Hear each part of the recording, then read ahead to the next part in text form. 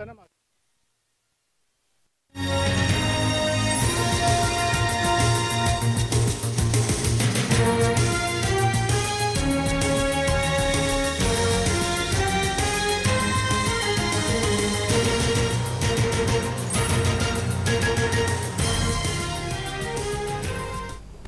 BRS గాలి బుడగ లాంటిదన్నారు కాంగ్రెస్ నేత షబ్బీర్ అలీ ఓడిపోతున్నామనే భయంతోనే బీఆర్ఎస్ నేతలు కాంగ్రెస్పై దుష్ప్రచారం చేస్తున్నారని ఆరోపించారు.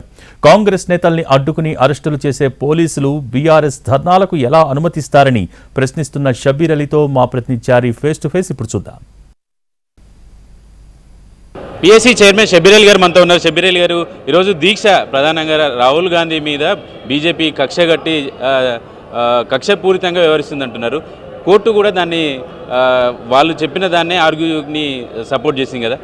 రాహుల్ గాంధీ గారు టూ థౌజండ్ నైన్టీన్ ఎలక్షన్లో మోదీ అని ఒక వ్యక్తి మీద కాదు మోదీ అని పేరున్న వ్యక్తులు నేనే మోదీ చరస్ మోదీ దామోదీ దామోదర్ మోదీ ఈ మోదీలు ఇంతమంది ఫ్రాడ్ చేస్తారు అన్న విషయంలో చెప్పినారు.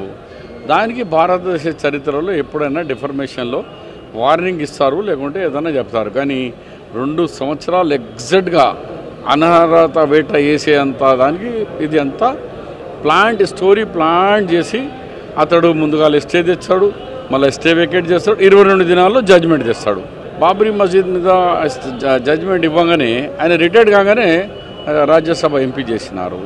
అదే కేసులో ఇంకా ఇద్దరును ఒకరి ఆంధ్రప్రదేశ్ గవర్నర్గా పంపించినారు ఇంకో జడ్జ్కు ఇంకో చైర్మన్ చేసినారు. అంటే ఇది ఎప్పుడు కూడా గతంలో కూడా ఇప్పుడు ఆయన ఉపరాష్ట్రపతిలో అయినారు హిదాయతుల్లా వాళ్ళు కానీ చాలా గ్యాప్ ఇచ్చి ఒక పది పదిహేను సంవత్సరాలు పది గ్యాప్ అయిన తర్వాత ఎక్స్పీరియన్స్ అయిన తర్వాత వాళ్ళు ఎక్స్పీరియన్స్ వాడుకున్నారు కానీ ఇట్లా ఇక్కడ దిగంగానే నెక్స్ట్ డే అక్కడ పోస్ట్ రెడీ రాజకీయంగా. ఏది ఏమైనా మేము దీని మీద లీగల్గా పోరాడుతూ ఇది ప్రజాస్వామ్యం కాబట్టి ప్రజలు కూడా తెలపాలా నిరసన ఇది సత్యాగ్రహ ద్వారా మా నిరసన తెలుపుతున్నాం. సరే ఇప్పుడు రేవంత్ అమెరికాలో చేసినటువంటి కామెంట్స్ మీద టీఆర్ఎస్ ఆందోళన చేస్తుంది. ఈరోజు ధర్నాలు కూడా నిర్వహించింది. కాంగ్రెస్ రైతులకు వ్యతిరేకం అనే ఒక ఇష్యూని జనంలోకి తీసుకెళ్ళేటువంటి ప్రయత్నం చేసింది. ఎట్లా చూస్తారు మీరు? ఇవి అన్నీ బుడుబుడు బుడుబుడు అంటే ఓడిపోవడు ఖాయము. వాళ్ళకి ఏదో ఒక ఇష్యూ కావాలా? రేవంత్ రెడ్డి గారు ఏమన్నారు? ఎయిట్ అవర్స్ నాణ్యత వన్ స్పెల్లో ఒకటేసారి ఎనిమిది గంటల వరకు కరెంట్ ఇవ్వండి అన్నారు. అది ఎప్పటి నుంచో డిమాండ్ ఉంది. మీరు ఇరవై నాలుగు గంటలకు చెప్తున్నారు కానీ కరెంట్ ఇస్తలేరు. Eight hours eight hours eight అవర్స్గా మీరు పక్కా ఇవ్వమన్నారు. కానీ ఇది నేను పవర్ మినిస్టర్గా ఉన్నాను. మాల్య రాజశేఖర రెడ్డి గారు మొదటి సంతకం పెట్టింది సెవెన్ అవర్స్ పవరు. తర్వాత పన్నెండు కోట్ల పన్నెండు వందల కోట్లు మాఫీ చేసినాము. తర్వాత పదకొండు సంవత్సరాలు కాంగ్రెస్ పార్టీ ఒక రూపాయి కన్జ్యూమర్కు ఏ ఏ కేటగిరీ అయినా కానీ అగ్రికల్చర్ సెక్టర్లో కానీ కమర్షియల్లో కానీ డొమెస్టిక్ సెక్టర్లో కానీ రూపాయి పెంచలేదు. మాకెక్కడ నువ్వు వచ్చి చెప్పేది?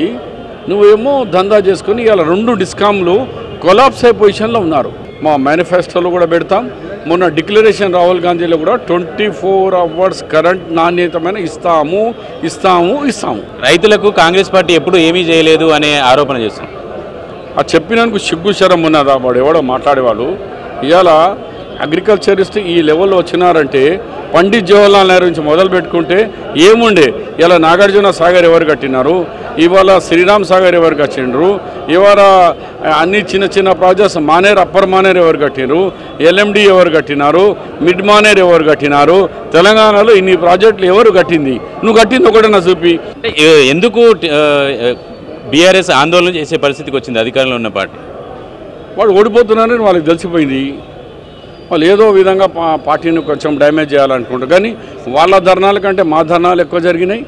రెండోది వాళ్ళ ధర్నాలకు ఫ్రీ ఇచ్చినారు. మా ధర్నా ఇప్పుడు బీబీపేట్ విలేజ్లో యాభై ఐదు మంది మా కాంగ్రెస్ నాయకులు ఉన్నారు తెలుసుకోండి. ఇది ప్రజాస్వామ్యంలో ఎంత అన్యాయమే? వాళ్ళకు చేయనిస్తున్నారు. సేమ్ ధర్నా మేము కేసీఆర్ బొమ్మను దిష్టి బొమ్మ కాలబెడతా ఉంటే మాకు పోలీస్ స్టేషన్లో. ఈరోజు కాంగ్రెస్ శ్రేణులు ఆందోళనకు పిలుపునిచ్చినటువంటి నేపథ్యంలో అరెస్టులు చేస్తున్నారు. కానీ టీఆర్ఎస్ చేసినటువంటి ఆందోళనకు మాత్రం కార్యకర్తలని అనుమతి ఎలా ఇస్తున్నారని చెప్పేసి షబ్బీర్ అలీ ప్రశ్నిస్తున్నారు. కెమెరా శ్రీనివాస్ గారితో చారి ఎన్టీవీ గాంధీ